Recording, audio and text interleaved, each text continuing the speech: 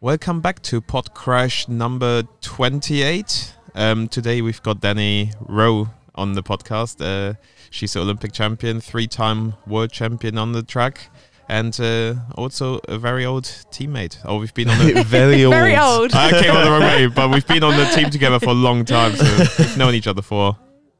Yeah, long time. What Since your- you started, I think, in British yeah, since I cycling. started, yeah. yeah. Which was what year? Uh, 2010. Wow. I actually want to get into what you thought, Phil, when he first locked up in the team. But um, I'll kick off with the sponsors first. So uh, we're here at the uh, Yorkshire World Championships. And, and well, at Prince of Wales Roundabout, we've got a little podcast pop up.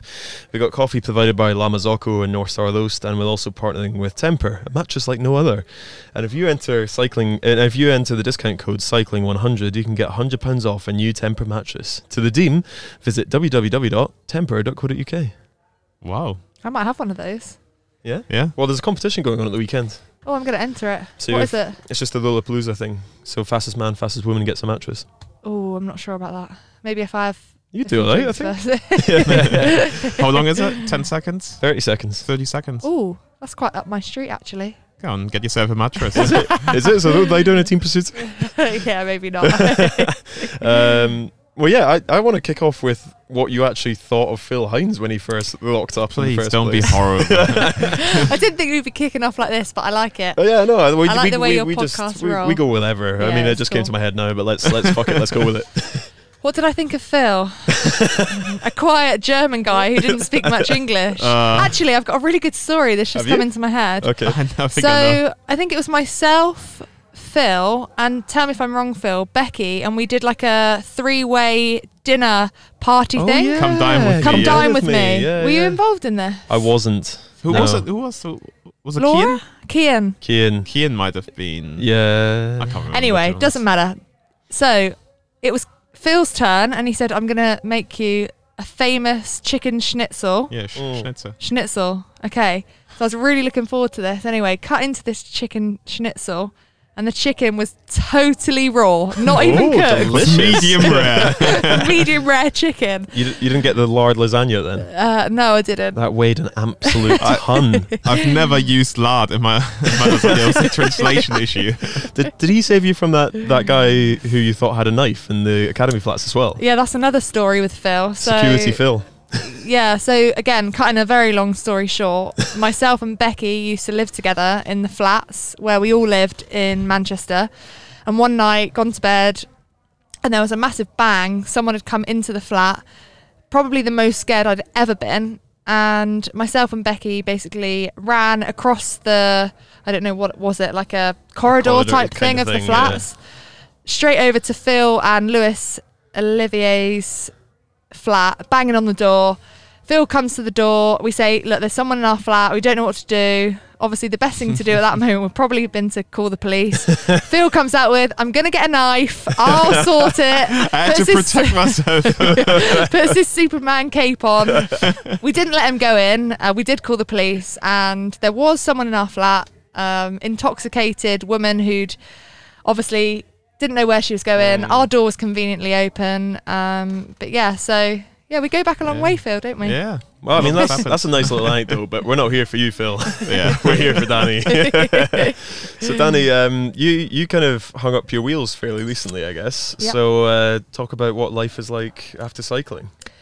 It's very good. Um, yeah. I stopped professionally cycling after the World Championships exactly a year ago in Innsbruck at the World Championships. And yeah, it's been super busy since, which I'm very grateful for. Obviously, before I announced my retirement from cycling, I was a bit worried in terms of what I would do after because I couldn't really hunt for it until I'd announced my retirement because Yeah, obviously no one up- knew about It's it. a funny halfway house, isn't it? Where you, like you still want to bring in all the stuff you can get while you're current, but then you don't want to say to people you've given up and you can go full time for something. Yeah, it is hard. Um, I guess for a, a bit of time, you can't tell anyone, Mm. and then straight after, you're kind of, I guess it sending messages out in terms of trying to get ambassadorship role, sponsorship, or just looking for, I guess, the next thing that you're going to be doing. Mm. Um, but yeah, thankfully for me, I've been really busy this year, which has been really nice. What was kind of your decision to uh, quit? Because you had a, you were quite decent on the road at, um, that year before. And there, and there was a home world championships coming up as well. Yeah. Yeah. Must have been a tough decision. Yeah, it was a really hard decision. Um, so I guess it really came from the fact that the last major medal that I hadn't won was in the Commonwealth Games, and that was a big focus for me. And I actually said, I think originally, if I win the Commonwealth Games, medal in the Commonwealth Games, which was my target, that I'd stop there and then. But I'd signed for a new team, Marianne Vos's team, WaowDeals, and I was really, really enjoying cycling. I'd invested a lot over the winter months and really trained super hard. So after the Commonwealth Games, I really wanted to carry on, use the form that I had, finish the season, and see my where my head was at there. And um, so yeah, I won a bronze medal, or didn't win a bronze medal, I guess. I, I got a bronze medal at the Ah, Commonwealth Games. bronze medal. Only one winner of a bronze, yeah, unless it's um, the 2012 Olympics in the keirin. But anyway, Um, then saw the season out, did really well on the road, and then spoke to a lot of people about what to do going forward. Obviously, yeah, we're now here at a Road World Championships, but I kind of was really content with where my cycling was at. I felt like I'd achieved everything and more in the sport, and I really wanted to go out on my own terms. So I've had so many times in my career where I've been told, you're crap, you're not good enough. Two years I applied for the academy and was told, no, you're rubbish, you're never going to make it. And I wanted to go out with it being my decision. I didn't Mm. want to get to the point in my career where my performance was dis- declining. I think a lot of athletes, unfortunately, just keep going because it's the easy thing to do. And naturally, when you get older, I guess your performance does start declining Mm. or be forced out with an injury, which sometimes also happens. So I think I was in a really good headspace with the sport. I was really content with what I di- what I'd done, and kind of weighing up what I could still achieve, which essentially was results on the road on the world tour stage. Um, I would have been working for Lizzie Deignan at the World Championship. So again, as much as I did enjoy being a domestic, that was not going to make me carry on for another year. yeah. And then the Olympics as well. I won a gold medal in my home country, so it was Mm. never going to compare. So I think it was the right time, and I was just ready for the next chapter of my life. Yeah. Um, so yeah, it's definitely, definitely been the right decision.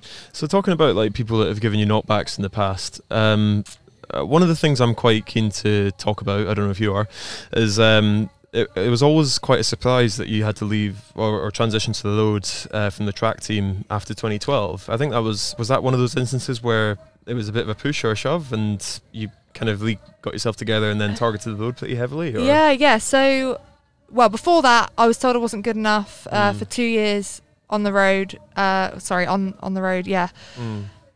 When I applied for the academy, um, and that was my first kind of real knockback where I questioned whether I would be able to make it. And ultimately, my dream was always to be world and Olympic champion. Um, I had so much support from my family at the time. My dad was actually a two-time winter Olympian in the sport of biathlon, Really? so really sporty. Did you not know? no, I didn't Um, know. Bad research on my side, but yeah. but yeah, really, you never really pushed into sport, but always supported. So thankfully, at that time, you know, I was told as much as I still wanted to keep going in cycling, that I would get support from my parents and from a Mm. support system. So I kept going. Um, and then managed to get onto the program, and yeah, I had an amazing journey leading up to the Olympics. Obviously, at the Olympics, and then the event changed from three to four kilometers, Mm. and I was struggling essentially with that fourth kilometre. So I was doing a lot of training on the road, and I was told that I was then. I don't like to use the word kicked off, but not on the program anymore. And yeah. in my personal opinion, it was the wrong decision. I don't think I was given enough time to kind of prove myself. Um, It was a it was a funny time because it almost felt a little bit like it was, you know, like, uh, not to get into the ins and outs of whether you justified a place in the program, but it was kind of to wake up everyone from 2012 a little bit to say that no Yeah. position is safe in the program, Yeah. and for you to be the essentially the scapegoat for that Yeah. felt really odd, I guess, Yeah. at the time. Yeah, and I think I actually brought quite a lot to the team. Um, I Yeah. was never, you know, I think going back to the Olympics, there was four of us that went into the holding camp in South Wales, and myself and Wendy Houvenaghel, who was the fourth lady that didn't ride, on paper were very close. Mhm. And performance-wise, probably if you'd put us down, you know. And told to do a 3k individual pursuit, she would have gone faster. So performance related, maybe some would argue she was str- slightly stronger, but what I brought to the table was that trust element, that team element, which was so crucial in that event. Yeah, for sure. Um, I always got on really, really well with the girls, um, really empathetic, you know motivator. So it was a real surprise to me and a surprise to a lot of the girls um, as well. So I think that's the tricky thing in that team because track cycling is an individual sport. I think Mm. sometimes that team kind of synergy is so important. It's a really big asset. Oh what, yeah, What year was massive. that in when you got yeah kicked off the program? I didn't want to say kick, I didn't want to say kicked off. But Transitioned off. Sorry, say that again. What- what year was it in when you got uh? Tran- It was 2014, um, but I was given a chance to come back and prove myself. But I was given a chance to come back, not on a bike that I was on before. You know, we got kind of Olympic bikes, um, different equipment makes a big difference. Um, no, again, no support.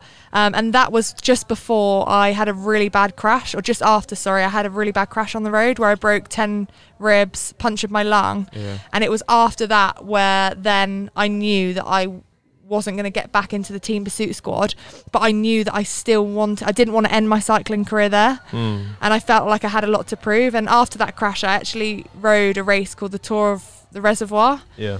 and I won it. And Katie Archibald was racing at the time, and not that I beat Katie, but it was just I felt like it was a huge achievement coming back from such a major crash.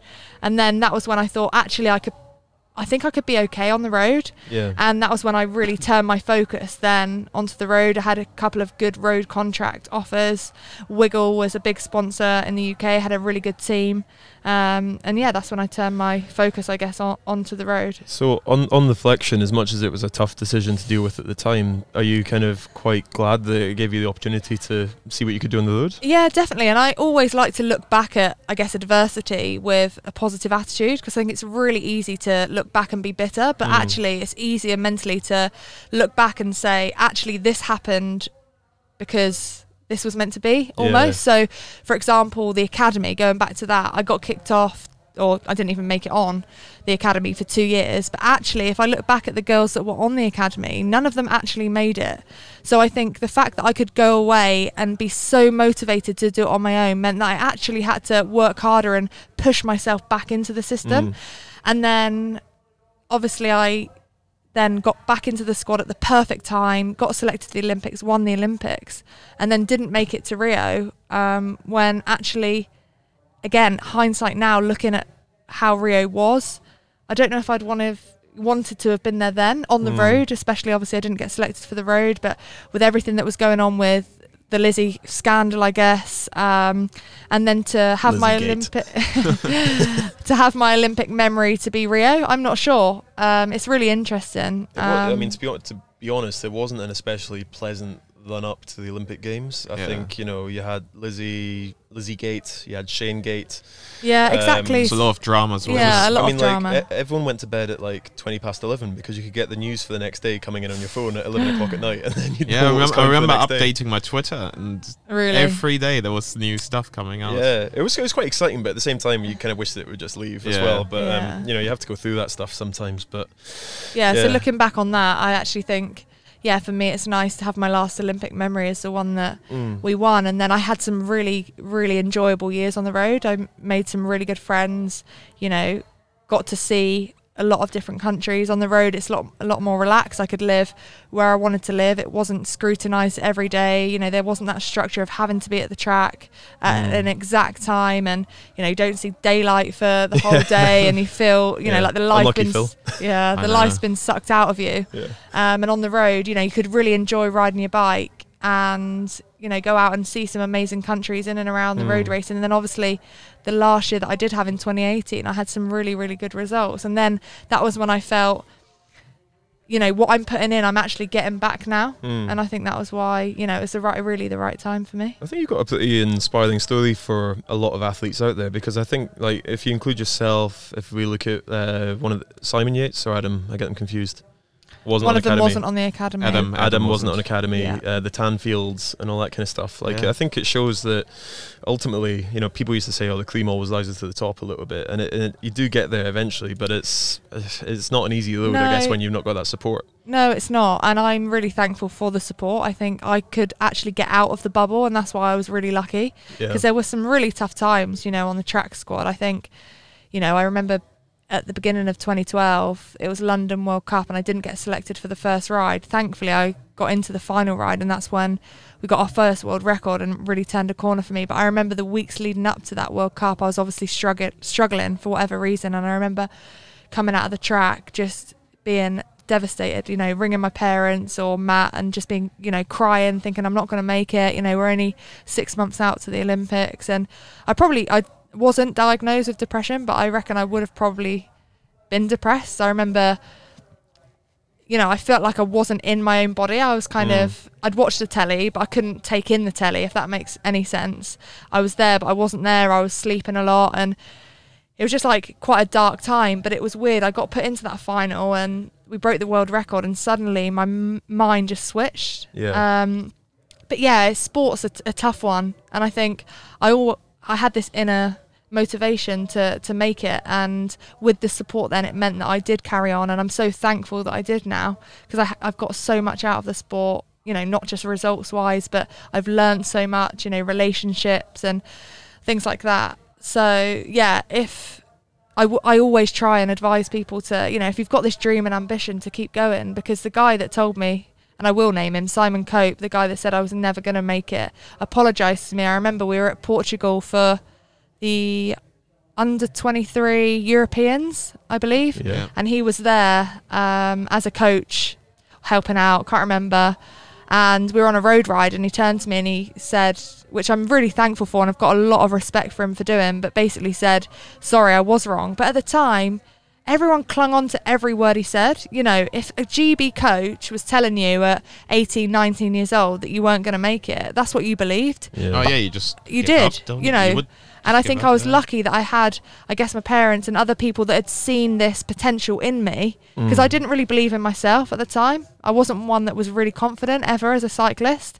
You know, a lot of cyclists I think are very sure of themselves, and I'm not. Even in everyday life, I have to have a lot of reassurance for my decisions, whatever it might be. Really stupid ones that, like what I wear, I'll always message my sister like, "Oh, what what shall I get?" Yeah. Um, so that really knocked me. But I think because other people did believe in me, that's what kept me going. I think I think Um, they're getting better with that responsibility of the weight that the coach's words can hold sometimes because if you know again that's the point I've tried to make with some of the feedback that I've given to BC a little bit is that you know uh, if you're dealing with a 17 year old kid essentially like if, if you say jump they'll say how high Hundred percent. and they'll do literally anything. And I think sport as a whole, this isn't anything to do with BC, but sport as a whole has so much potential for people who are maybe slightly abusive to thrive in that environment because they get to stay in it time and time and time and time again. Same with like anti-doping or like we've seen in Mm. US gymnastics and things like that. I think it's like you know. I, I think we're waking up to that slowly. That it's not just about the athletes; it's about the whole support network that stands behind them, and them being on the same page as everyone else. I guess. Oh yeah, massively. Yeah, like I said, I was lucky to have that outside. But if people don't, then I see exactly how it could spiral totally out of control. Mm. because you do cling on to every word that they say when they're telling you what to do. And, you know, again, with BC, it's such a successful program. So when you're younger, you think, well, all of these athletes are doing exactly what they're told. And Mm. so that's what I'm going to do. So did you did you Um, gain some independence when you became a road a road rider? Did you kind of find a bit more of self confidence, self like opinions on your training and Yeah, stuff I that? did. And it was really good because I actually started being coached by Len Parker Simpson, who was Len working Simpson for, Parker. from I love Len Simpson Parker. Who is he? Yeah. Who is he? so that's an in joke. I mean, that probably doesn't have any resonance on the podcast, but yeah. Um, and that worked really well for me. I think it's about finding the coach that works well for you. I was obsessed with numbers and data. Some people aren't.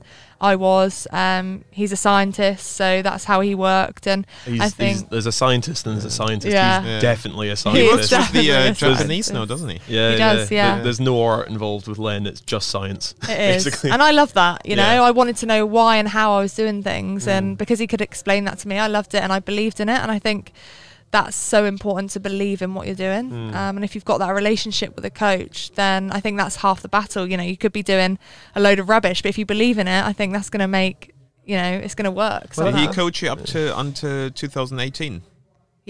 yeah, Nice. I think that's the interesting thing, though. I think like belief is so powerful because ultimately, you know, you show up at a world championships and everyone more or less in sprinting anyway, people more or less go about the same pace. Like it's quite fine margins, Yeah. but like you know, let's say the top eight guys more or less do the same time, and you think their training must be totally different. but the belief I think is like one of the main bits behind it. And not to belittle coaching, but I think it, that, that's one of those powerful things. It's almost like a placebo effect. If you believe Yeah, in what you're yeah, doing, you'll Do thrive. you believe you achieve? that is the corniest thing you've ever said. Phil. who, who knew you were a secret motivator? That's honestly that's what I used to think about. Like, if you believe you achieve.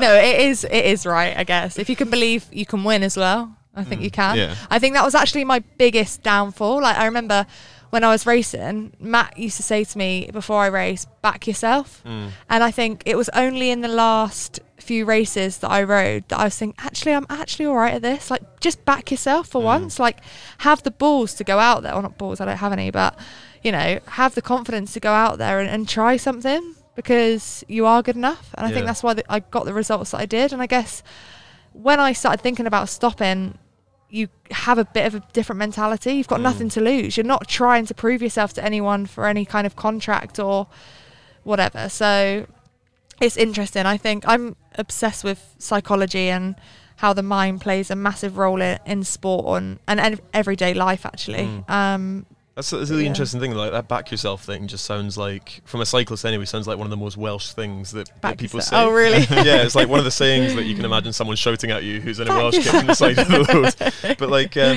you, you kind of made a steady transition towards becoming Welsh, I guess. So what? Yeah, what was very the attraction in that? controversially, Well, no, it's not. unfortunately. You know, we've got another guy who's changed teams here as well before.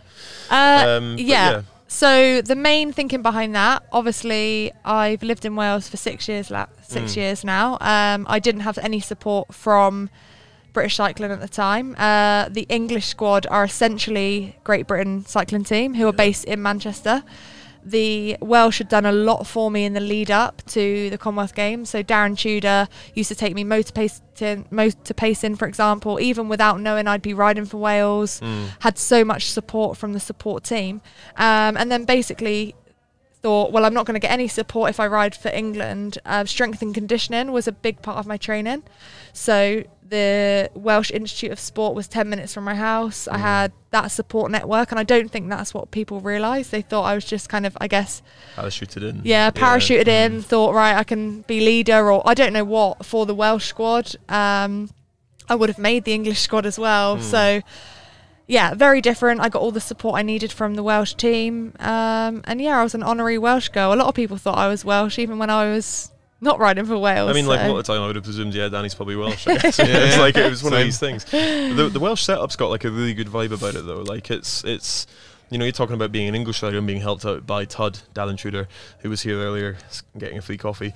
Um, of course he was. but like uh, it's almost quite um, almost like tribal that little thing. There's a really close knit community that all looks after each other. Yeah, it is, and I think Wales as a country is so patriotic, Mm. and I don't know whether it comes from that or whatnot, but it's a really nice team. It's professional, but at the same time, I think everyone's treated as humans, Yeah. and everyone's friends, and the coaches will happily sit and have a coffee with you, and you don't really have that vibe in in BC. I guess it's very much a coach rider relationship. Um, so yeah, I think everyone helps everyone out. Everyone's backing each other to win, um, and it was a really nice place to be. Yeah, that's an, you raise an interesting point because we were talking about this at the BOA quite recently because they've got that tagline, you know, once an Olympian, always an Olympian.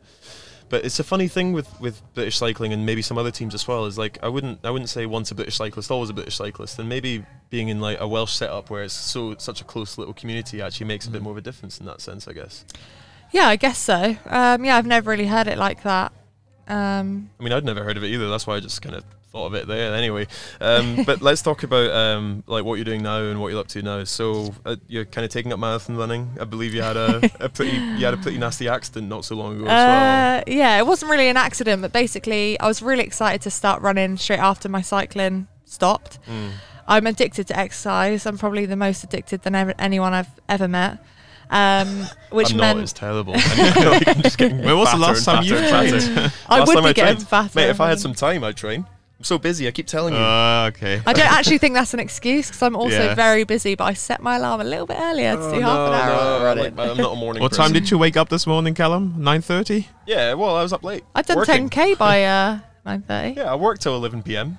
on My laptop, doing business, big business deals, all that kind of stuff.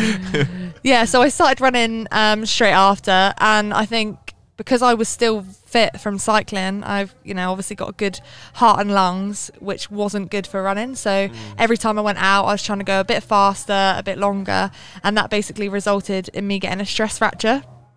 Recovered from that, started running again. Told myself I was going to take it easy. That's not in my mentality. Mm. So put Strava on, started going faster and further, and then got another one. So basically, came down to the fact that as cyclists, you don't even walk, let alone run and Well, do there's no any impact. impact. Yeah, no, yeah, yeah. exactly. Like we do S and C, like strength and conditioning training, but it's all kind of yeah, no impact, just squats, leg press, things like that. So my bones essentially weren't used to it. Mm. So I couldn't do the London Marathon. I I wanted to do the London Classic, so that's the London Marathon, the Serpentine Swim, and Ride London. Mm. But I couldn't do the London Marathon. But I've done Ride London and the Swim Serpentine. You've got a race coming up next weekend, haven't you? Let's not call it a race. Race. Let's call it a sponsor half marathon, the Wiggle Manchester half but have you, marathon. have you set yourself a target? What time you want to achieve? under two hours, which I think's pretty realistic. I did 10k this morning in I think 49 minutes, um, and I think yeah, that's uh, that's slower than that pace. So as long as my bones hold up, I think I'll be okay. So yeah, fingers crossed. I'm looking forward to it. But I think uh, I think it's quite interesting to like kind of use your body in, in that sense though I guess because we always talk about you know like uh, Katie Marchant she came on the team and like she'll admit herself that she became like less athletic because she was a cyclist and it's like when you see the endurance boys in the gym it's like seeing a bit of spaghetti trying to pick up a weight you know It's what I mean? it's just everywhere so to actually like challenge yourself in that way must be quite you know exciting I guess. Yeah, it's really really nice actually, and actually cycling for, I guess general fitness and I guess weight loss. Let's be honest. The reason I'm, you know, exercising now is so I don't put on weight and for my own like health and mental well-being. But cycling because you're not weight bearing, you have to do a lot of it or very very high intense intense to actually get much out of it. So that's what's nice now. I can kind of do what I want. I've been doing these boot camp classes where essentially it's like 45 minutes of absolute savage workout, but it's full body. I actually think I'm potentially fitter or a more rounded, I guess, athlete now than I was when I was cycling. Because, like Mm. you say, when you're on a bike, it's so specific, and all you're good at is actually riding a bike. Hunched Whereas now I'm bike, trying to yeah. do it all. Yeah, exactly. That's the thing. Posture's terrible as well. Um, but yeah, it's just nice to do different things. Like obviously you're so drilled into only ever riding a bike. It's, it gives you quite a good degree of freedom as well. It's like you can literally turn your hand to anything. I was going to take up rugby before I got a concussion, so that's my excuse for quitting that. Yeah, you were going to start rugby, weren't you? I was going to give it a go, yeah. well, Lewis Oliva started it, so I thought, well, maybe I'll give it a go. I used to play. It's pretty good. That's a nice thing. You can. well, do- I, try I, it. I can't. but Well, yeah. okay. I keep getting my arm twisted into doing like stupid. I was, I, I kind of slowly got myself out of doing London to Paris on a BMX. Oh, I did that last week. Not on a BMX. Not on a BMX. No, not on a BMX. Was it was it the BMX event though? No. Or were you just there? No, it wasn't. It was um we'd actually been as Rowe and King, my coaching company, which I am going to plug on here. Um You're welcome to plug as much as you want. we were coaching some Morgan Stanley employees in the Mm. lead up to London to Paris. So we were just kind of motivating them then to um, get through it. I coached the Glasgow office for that one. It's pretty scary how um, how much work they have to do. It was actually we had a WhatsApp Yeah. group and a guy messaged the week before saying, "Just done my longest ride. Maybe left it a bit late, 30 miles." So we were Oh, doing no. London to Paris in 24 hours as well. So the second day was 200k. So I think he'd left it a bit late, Mate, like, unfortunately. we, we I took them out for like a training ride. What should have been about three hours, and I reckon some people were out there for like seven, eight hours. Like Really? it was just. I mean, like it's it's good. It's going to be a big challenge. I mean, it was a big challenge, yeah. but like, yeah, fair play to them for pushing on. Did I- many people not when many people not be able to finish? Out of around 300, I think six didn't finish, and that was two. That was two down to mechanicals and two down to crashes, and I think it was only two that physically couldn't finish. So that was really, really good. But I was crying at the end watching them come in. Yeah, Yeah. because I, we, I was in the fast group, and we waited and waited for the. We didn't call it the slow group. We called it. What did we call it? The social group. That was it. The social group. Um, and we were waiting and waiting for them to come in. We were tracking them on, you know, live location or whatever. And we all came out, and it was such an achievement for them. You know, Mm. you take it for granted. It was hard for us. Mm. So for these people who had literally bought a bike for this event, it was massive, and I just felt really proud of them that they'd done it because it was such an amazing achievement. So what? So I guess that leads us on to the next question. Um, like, where do you get your kind of kicks as an athlete now? Is it in helping other people through coaching, or like, you know, what's? Because I guess uh, people ask me all the time. It's like, oh, you must be, you know, really upset that you don't get to compete in front of a big crowd anymore, or like put yourself to the test. And personally, I, d- I don't really feel that No, that I much. don't but either. like, do you, where do you get your kind of fulfillment Um, from now? I guess. loads of different things. I think it's Mm. actually the variety that I'm really liking now. So, um, obviously, like I said, I'm doing loads of different sports. So I get I'm getting kicks from say this boot camp class where I'm essentially beasting myself for an hour. I get that kind of adrenaline and endorphins that I got from training on the bike Yeah. through that.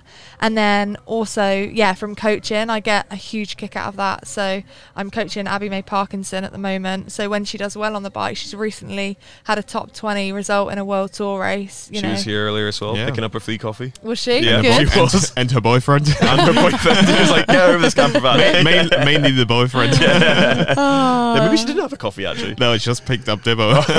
okay. so Uh, yeah, get kicks out of that, and then doing loads of different things. So, for example, recently I went into uh, a PRU, so a pupil referral unit, where essentially it was children that had been permanently excluded from school who were in Mm. it.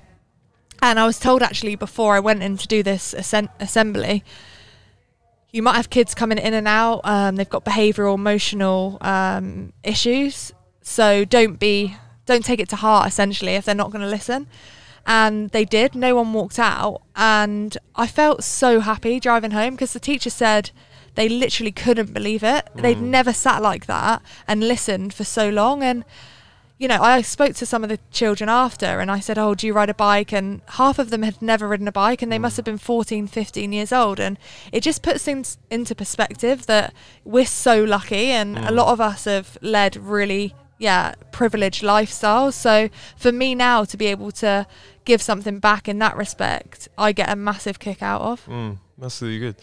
So I think uh, we're limited on time, so I'll give the, the final two questions. So the first one is, uh, you know, classic retirement one. Looking back in your career, is is the Olympics still the highlight? I've got three highlights. Okay. First World Championships in Apeldoorn, Yeah. which was the first time I thought, yeah, I can actually do this. Obviously, the Olympics. Take that, Simon Cope. Yeah, exactly. uh, the Olympics, I like obviously, as well, the just, pinnacle. just, just to save my back there. He's a nice guy. He's all right. um, the Olympics, obviously, is the pinnacle of everything that I've ever done. And the third was the Tour of Reservoir, where I'd crashed four months before, Mm. was in intensive care. They told me that I basically had broken two ribs in two places, and they said if that bit of bone essentially had become dislodged, and I said to them, "Oh, how how um, common would that have been?" And they said, "Yeah, if you had sneezed or something like that, it probably would have come out." And they said I'd have had a fifty percent chance of living. Oh, so wow. then to come back and win that first race, like on paper, it's a tiny race, means nothing, but to me it meant a lot. So yeah, they're my three three races I look back on with um, a lot of rest is a weird one sometimes. Like sometimes, like even if you get ill or injured, like you come back stronger sometimes. Like that enforced rest actually works quite well sometimes. Like, maybe not to the level of intensive care, but you know, like it gets there. And then, uh, so the final question would be like, what's next? Are we going to see another attempt for London Marathon and try and keep yourself in one piece this time, or like what what's what's Dani King, fitness fanatic, Dani Lowe, Dani fitness, Rowe. fitness Ah, fanatic, up to next? Yeah, so loads of different things. Obviously, ambassador for a few different companies, but for now, just trying to be happy. I think that's the main thing that I'm trying to do. Um, inspire more people to get on bikes, trying to keep fit with different challenges, raise some money for, im- yeah, charities along the way. Um, and yeah, that's about it. Simple but happy is my motivation. Oh, fair enough. You seem to have landed on your feet, and like wish you all the best in the future. So, Thank um, this is a chance. I know you've take you've done a bit of plugging earlier, which we're very upset about. But um, if you want to plug any sponsors or shout out your social media, this is this is the time. Okay, why not? So I'm an ambassador for Wiggle, Yep.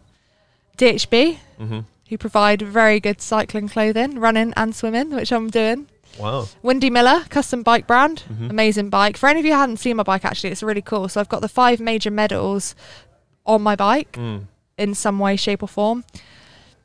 Hendy, car sponsor. So that's pretty cool. Zwift I do a lot with. Garmin I do a lot with. And Rowe and King, obviously coaching company. We're the best coaches out there. I so mean, leave some for the rest of us. Jeez. That's where I'm going wrong. find me on social media, Dani Rowe. But yeah, other than that, that's it. That's it. Be happy. Cool, yeah. That's my motto. Well, thank you very much for coming on. We're just going to do a final shout out to, to our sponsors, which look quite limited in comparison. um, so we're here at the Prince of Wales Roundabout at the Cycling World Championships. Pop down if you want a free coffee, and uh, which is provided by La Marzocco and North Star Roast. And we're also partnering with uh, Tempur. So if you enter code cycling100 at www.tempur.co.uk, you can get £100 off a new mattress. nice. So uh, yeah, thanks again for coming on, Dani. I'm Yeah. going to enter the competition and try and win myself a mattress. Oh yeah, that's at the weekend. And if you don't, you've got an amazing discount code. I'm actually doing a lot to my new house, so I need a new mattress. Oh, there you go. Cheeky plug there again. Thanks, All right, everyone. Thanks.